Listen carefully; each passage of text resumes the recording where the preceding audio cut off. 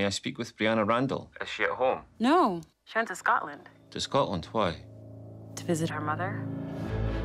This season, Claire and Jamie create a home for themselves and for their extended family. what is it?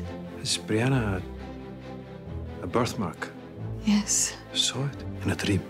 The person Claire loves more than anything in this world is Brianna. As her mother, Claire has basically sacrificed everything. She left her daughter in a different time. Brianna has accepted the fact that she'll never see her mother again. But then she finds a newspaper article saying that Jamie and Claire Fraser die in a fire. The date's 21st of January, 1770 something. So she goes back through the stones to save Jamie and Claire and change the course of history. Where am I? But when she gets there, there is that moment of, okay, she's so out of her world and out of her time. Jamie and Claire could be anywhere.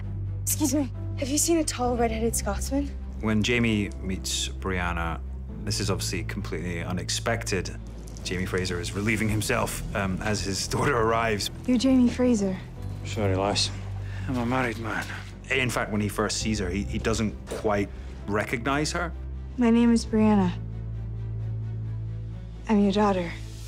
It's hard to say what he feels. He feels everything. It's my babe. Then Claire is walking out of an apothecary and sees Brianna. You know, she thought she may never see her daughter again. I have missed you so much. I missed you too, my darling.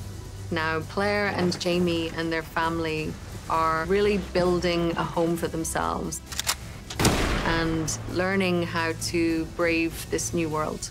What took you so long, lass?